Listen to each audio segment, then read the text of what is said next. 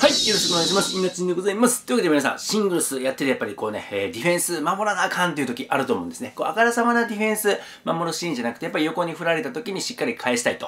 はい、今日は、えーこういうシーンを、ワールドテニス TV の辻健さん、一から学ぶシリーズでおなじみの辻健さんと、えーシングルスのね、ディフェンス、最近シングルスにハマってますので、辻健さん練習をしてきました。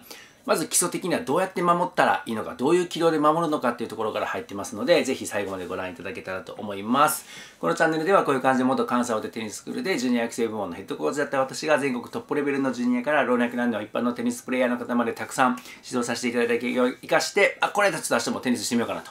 ディフェンスやってみようかなと思ってもらえるような動画作り目指してますので気に入っていただいた方はチャンネル登録とグッドボタンよろしくお願いします。では行ってみましょう。どうぞ。お願いしますあの前回あのシングルスでこう攻撃もしなくてディフェンスもニュートラルなニュートラルなちょっと引きつける練習ね。はい、あれちょっと外でやる機会があったんですよ、はい。シングルス、はいはいはい。あれだけで全然決まるし全然勝つんです。ねあ勝てるようになってきた。楽しくなってきた。あの今まで勝てんかった人に勝てたんでおいってなって。よかったよかったよかった。はい。素晴らしい。楽しなってきて。はいもうちょっとじゃあシングルス、はい。行きましょうか。お願いします。行きましょうか。じゃあまあ前回こうちょっとニュートラルっていうところでこの、まあ、ベースライン付近のボールとあとちょっと前に入る動きやったんでやっぱり、えーディフェンスうんの守りの意識っていうのはねやっぱりちょっと持っといた方がよくて特にダブルスみたいにこうやるべきショットが決まっててある程度こう攻め攻め攻め攻めっていう感じよりはシングルスはやっぱり守る要素っていうのも増えてくるんで、えーちょっとね守りの練習をしていきましょう。お願いします、これは僕が、えーディフェンス力のチェックに、えー使う球出しなんですけど今から、えー斜め後ろにボール出すので、はいえー守るつもりでちょっとクロスに守るつもりでしっかりとはい打っていきましょう。OK いきますフォアハンドでクロスです。はいはい。OK です。OK です。はい。これ今のは、えーまあ、何をチェックしたかというと守る時の方がまあこれも考え方がいろいろあってあれなんですけど、まあえー今回やる練習の中でまず必要な考え方として守る方が出力がいるんですね。パワーがいる。遠いから？パワーがいる。そういうことです、パワーがいる。で攻めの方が、まあ、攻めもパワーはいるんですけど皆さんどちらかというと、えー攻める時はこうしっかり強く打っていかなあかんみたいな。うんそうですね。やっぱり攻撃するからはい。前に入って強く打っていかなあかん。で守る時はどちらかというと、えーちょっと時間稼ぎじゃないけど緩く打たなあかんみたいな。緩く打ってえー急いで戻らなあかんみたいな。あそのイメージあるかもしれない、はい、そのイメージもねすごく大事です。大事ですけどじゃあ今度じゃあ練習でそこから、えー何をこう上塗りしていくか技術的なものを上げていくかっていうと今ぐらいのところから向こうのベースラインまでいかにこうパワーあるボールをまず打てるか。これがねすごく、えー大事になってきてで逆に今の出力がしっかりクロスに出せるようになるとちょっとこれはね語弊がある部分もあるんですけど戻るのはそんなにこう慌ててバタバタ戻らなくてもよくなります。あのゆったり戻れるようになってきます。戻る時っていうのはバタバタ戻るよりはゆっくり戻った方が自分のバランスも崩れない。あー。ただ、うん。やっぱり出力をしっかり持って深く打てるようになる方がいいのでまずは向こうのベースラインまでしっかり飛ばせるようにしましょう、はい。でここはもう、えー今までやってきた一から学ぶシリーズなので、はい。ストロークの出力をしっかり出して右足でしっかり蹴って飛ばしていくと、はいじゃあベースラインの深いところ狙ってはい3球ぐらいいこうかな。はいいきます。浅い。へい。オッケーです、オッケーです、オッケーです。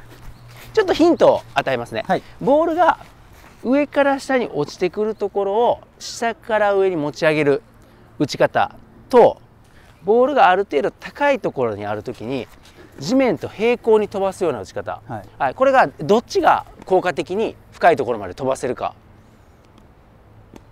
多分今僕打ってる感覚はし落ちてきたやつを上に上げるって感覚の方が、はい、軌道も上がるし、はい、深いとこに行くんじゃないかなと思って多分打ってます。そうですよね、まあ、大体そういう感じで僕も昔はそういうふうにやってたんですけど、えーちょっと今日は違うふうにトライをして、打点が高いところにあるうちに地面と平行に飛ばしていきましょディフェンスのショット。うディフェンスのショット。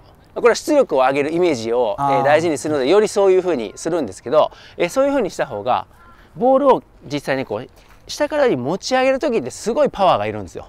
うんそうですね。低いところからこっから持ち上げるのとはいはい。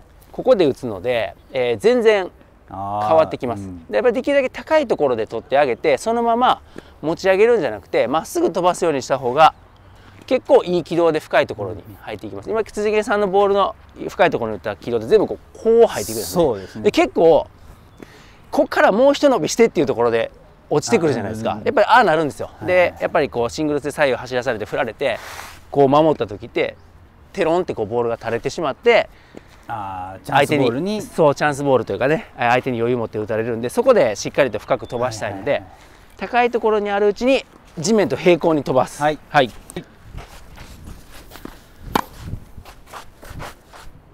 いいんじゃないですか、はい、ビフォーアフター比べてみましょう。ビフォーやね、こういう感じで、えしっかり持ち上げてるつもりでも、結果あんまりこう軌道が上がってないんですけど、アフターの方はしっかり軌道が上がってるのがわかると思います。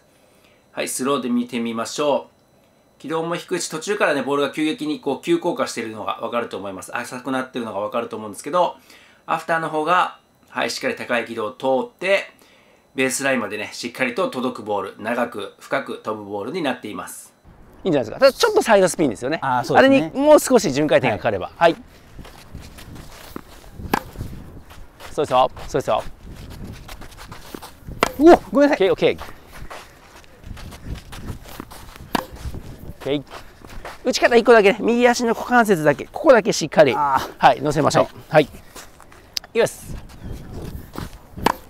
おお飛びましたね。今いい音したじゃないですか、だからディフェンスの時もディフェンスだからって言ってこうこういうイメージうん。を持つよりもそのまままっすぐ飛ばしてあげる、うんうんイメージでいった方がしっかり飛びます。いや本当に。はい、意外とここはこう錯覚というか、まあ、いいんですよ。全然こう下からこうこういう感じも大事は大事なんで、はい。ただまあそれはある程度できるっていう体で今少し高めのところからまあまっすぐ飛ばしてパワフルに打っていくと。もうちょっとだけいきますね、はい。1個だけでもう1個出力をしっかり出すためにここで打つ。はいはい。打つじゃないですか。辻毛さんでこの打点に対する後ろのスペースがちょっとないんですよね。だから、若干こうつま全部近いそうですそうです、いはい。で、まあ、ディフェンスのイメージっていうのもあるし今のこうボール出しの中で一回下がりきってから前に入ってっていう時間もちょっとないと思うんですよ。なんで、この右足の軸足をつく位置を頑張って最後ボールとの距離が少し空いてるところにはいはいはい。ついてあげましょう、こうしっかり後ろに開いてついてあげてこの足で蹴って力を出していく。なるほど。そうですそうですそうです。そうですこのね右足をもうちょっと後ろに出すかそこで止めてしまうかでこのボールとの距離、まだまだうしこう広げれるんで、はい。いきます。おかっこいい打ち方になってきた。おおあれです、ん。あれです。結構ねできたおお！あれです、ん。あれです。結構ねスペインとか行くとディフェンスの練習してるじゃないですか。みんなああいうボール打ってるんですよ実は。へえ。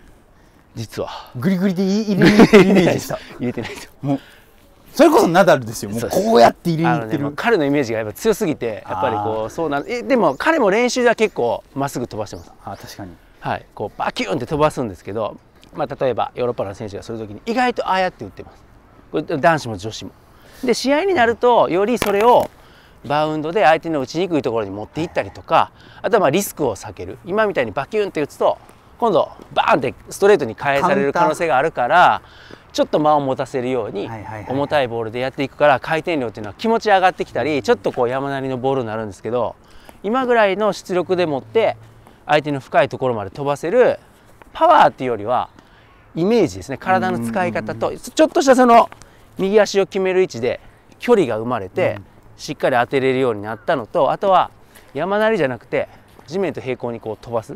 あのイメージがあるだけでだいぶこうディフェンスのショットを飛ばしやすくなるというか。いやめっちゃ飛ばしやすかったです今。はい、楽になるじゃないですか。あと3球だけ、はい。いきますね。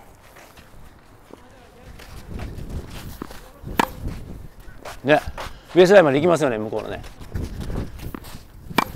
惜しい。ちょっと開いた。ちょっとメイク行きましたね。まっすぐまっすぐちょっと浅い。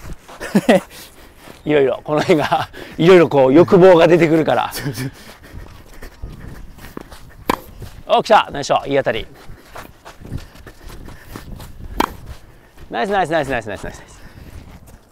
今みたいな感じで1球じゃ今度はそこまで実際の試合の中でそこまで辻元さんが後ろに下がるっていうことは多分日本の試合では少ないですね。はい、いかがだったでしょうか？